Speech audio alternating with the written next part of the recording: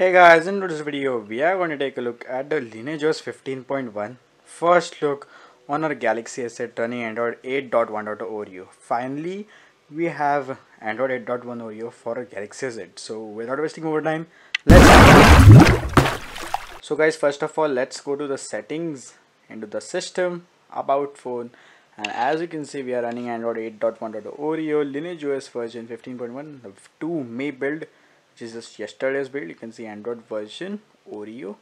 Get this oreo easter egg and also this octopus. Let's go back and tapping on lineage os version we get the lineage os logo. And tapping on it we get this lineage os like thing. You can see the octopus with the lineage os logo. Now moving to the launcher we get a pixel launcher.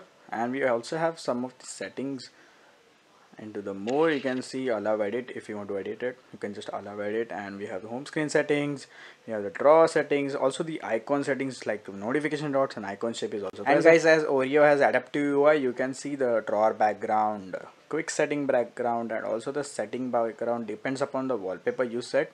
So if you set a lighter wallpaper as you can see i will set this as a light wallpaper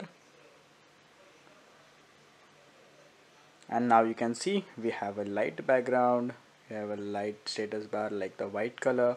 Also the settings are like settings background now let's take a look at some of the features of lineage os now into the battery you can see we get a whole large battery unlike the nougat we also get the last full charge and the screen usage which is the screen on time. You also get battery percentage enable you can also use adaptive brightness but it doesn't work. And also the sleep timer up to 30 minutes then going into the display we get adaptive brightness. It doesn't work live display doesn't work.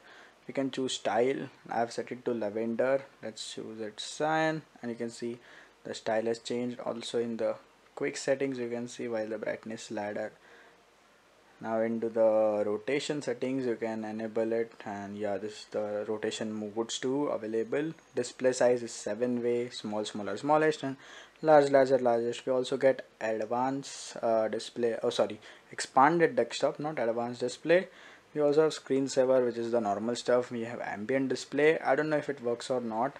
And we have high touch sensitivity.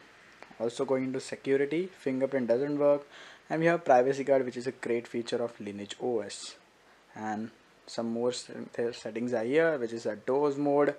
And also in the system we get status bar. You can customize some aspects some icons and the network traffic monitor. Also the gestures we only have one gesture which is jump to camera.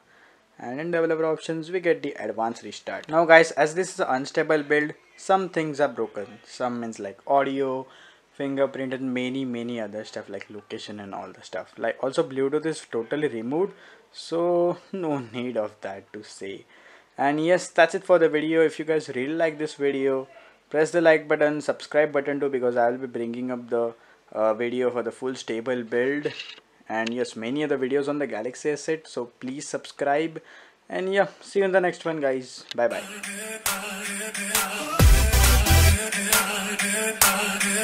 Here's